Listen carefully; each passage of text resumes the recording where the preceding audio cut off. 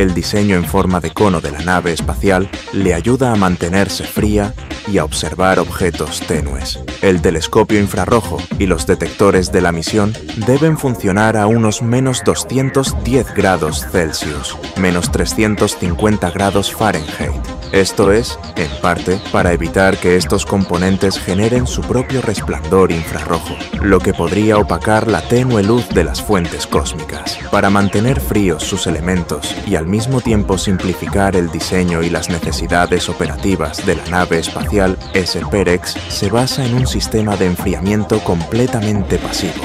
No se utiliza electricidad ni refrigerantes durante las operaciones normales. La clave para hacer posible esta hazaña son tres escudos de fotones en forma de conos para proteger el telescopio del calor de la Tierra y el Sol, así como una estructura de espejos debajo de los escudos para dirigir el calor del instrumento hacia el espacio.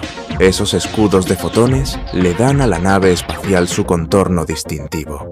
SFEREX es gestionado por el Laboratorio de Propulsión a Chorro, JPL, por sus siglas en inglés, para la División de Astrofísica de la NASA, dentro de la Dirección de Misiones Científicas en la sede de la NASA, Washington DC, BA Systems. Anteriormente, Ball Aerospace construyó el telescopio y la plataforma de la nave espacial. Para obtener más información sobre la misión SFEREX, visita el sitio web que indicamos en la caja de comentarios. Recordar que podéis plantear en los comentarios cualquier duda sobre lo comentado en esta news o proponer nuevas ideas que queráis tratar en este vuestro canal.